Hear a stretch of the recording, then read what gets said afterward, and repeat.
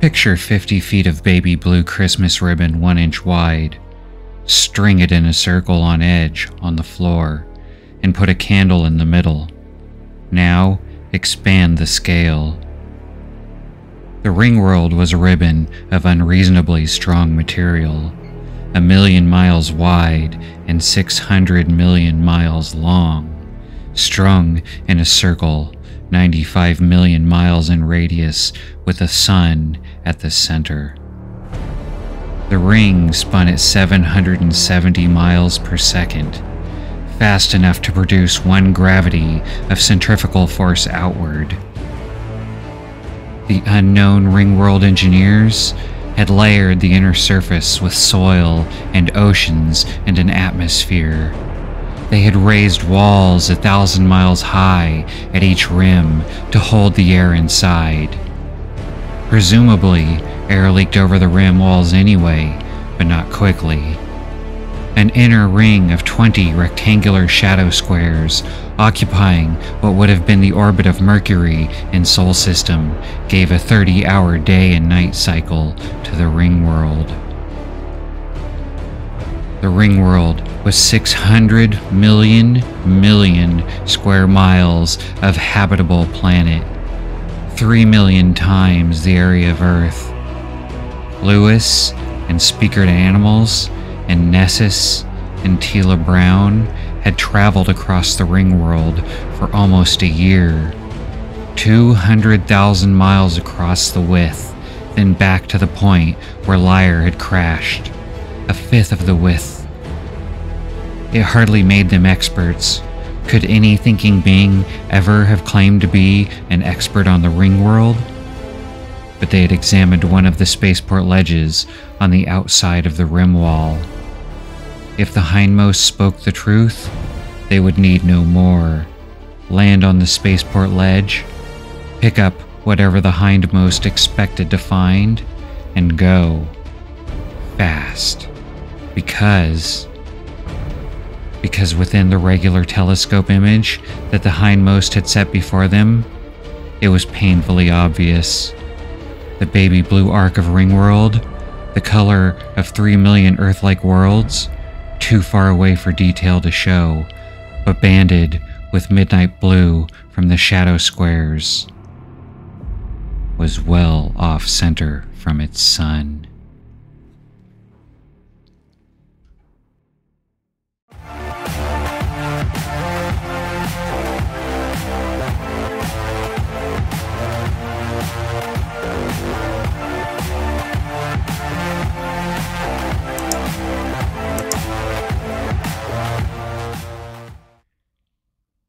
Welcome to Sci Fi Secrets. Larry Niven never intended on writing a sequel to The Ringworld. It was originally planned to be a standalone novel, but as the years passed, the mountain of mail Niven got regarding the problems with his Ringworld and his storyline kept piling up. Niven says in a preface that he wrote this book because of all the quote unquote unsolicited help correcting things from his first novel.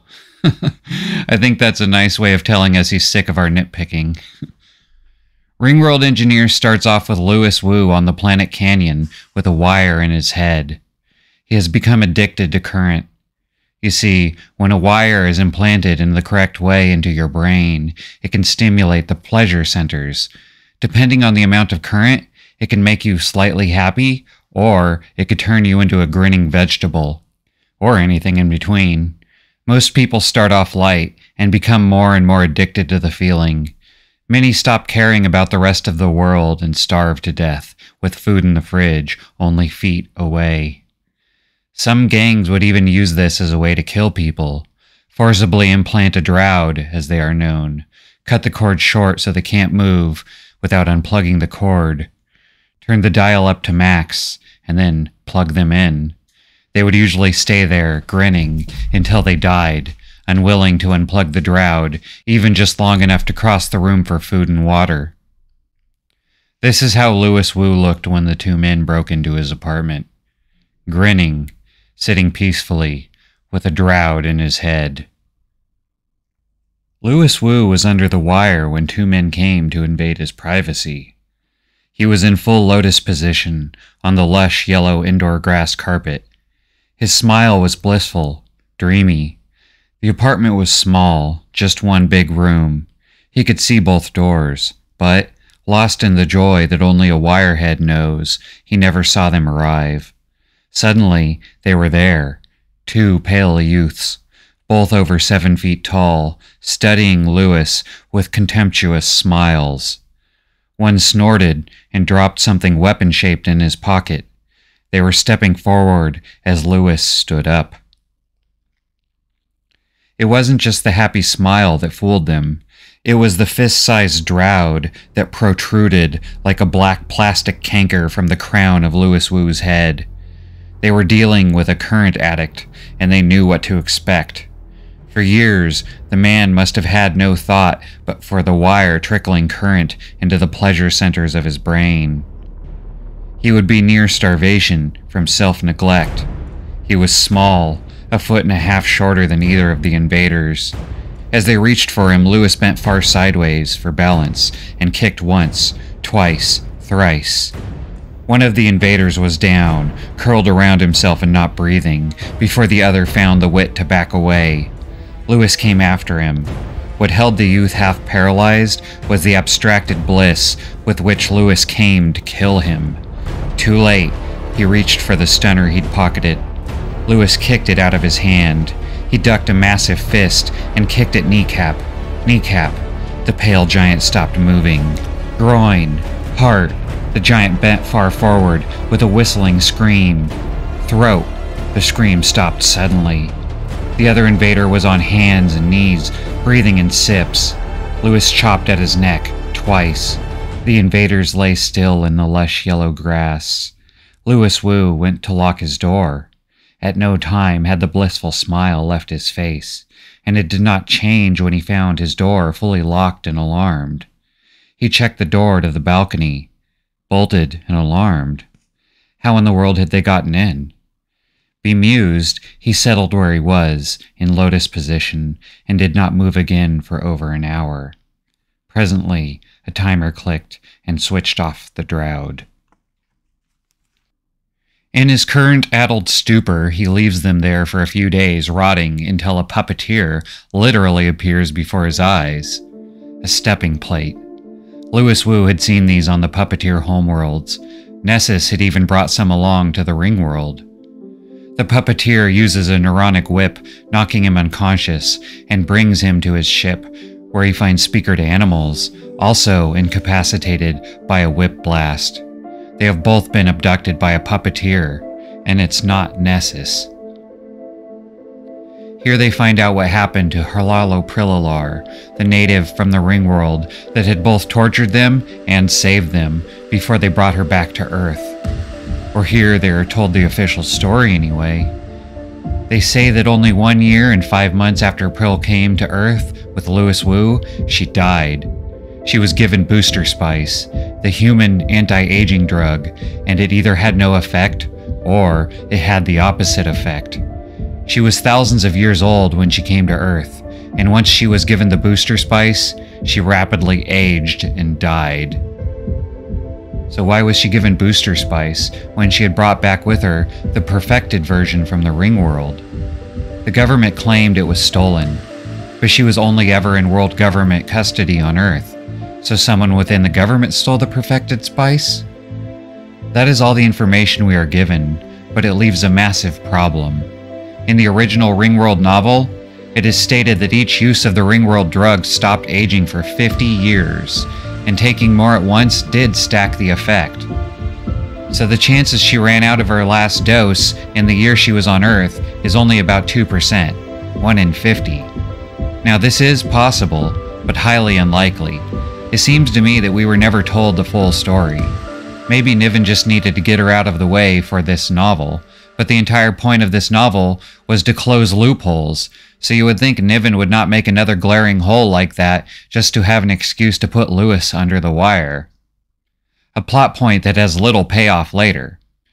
So I'm going to give Niven the benefit of the doubt and say that there was some dirty things going on with Prill that we may never fully find out about.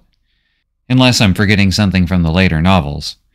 This is why I reread each one before making a video on it, to see what I forgot. So Louis, along with Speaker, now named Chmeee, now that he's earned his name, but who I will still be referring to as Speaker for obvious reasons, no way I'm saying Chmeee a hundred more times, are placed in a slaver stasis field for the trip back to the ring world against their will.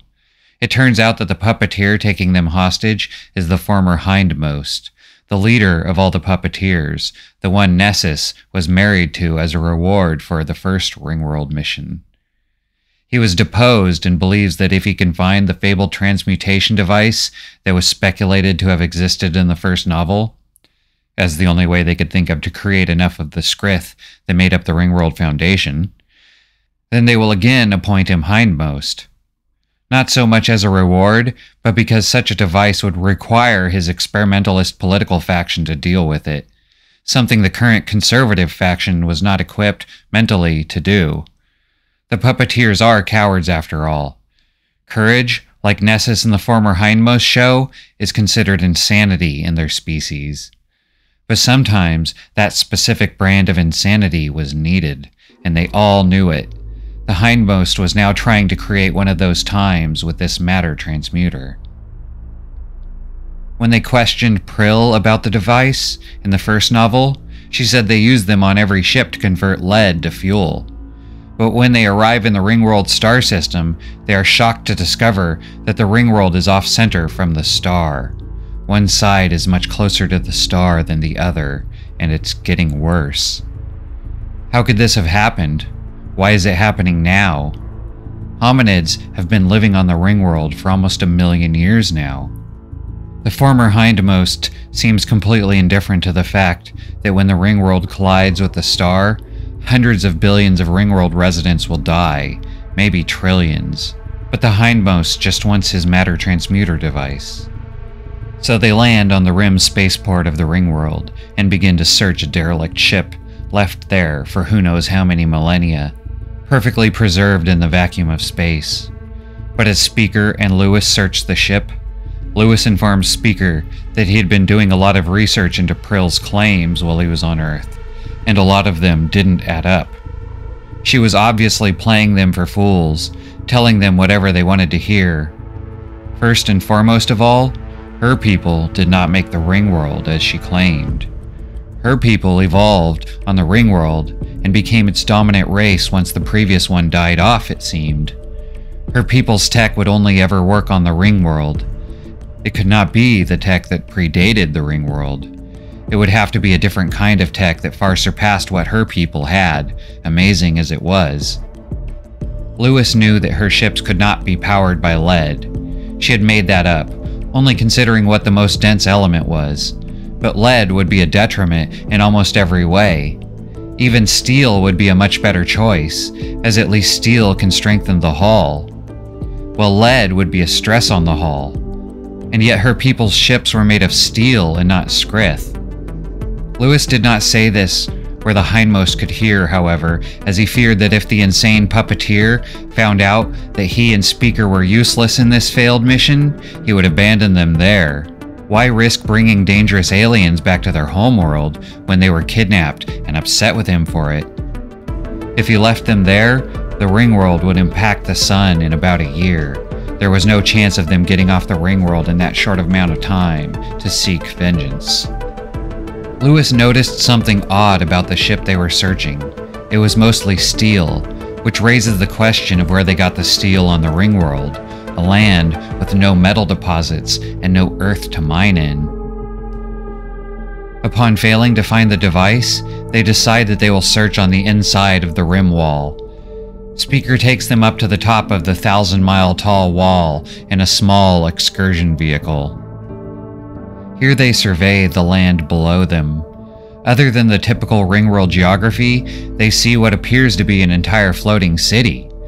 Thinking that if any high tech still exists on the ringworld, it would likely be there, so they set off in that direction on a 100,000 mile trip. Hey, thanks for watching. I really appreciate you staying this long, and since you did, hopefully that means you like my channel. So I'd really appreciate it if you would like, comment, And most importantly, subscribe so I can see you back here for the next one. Take care.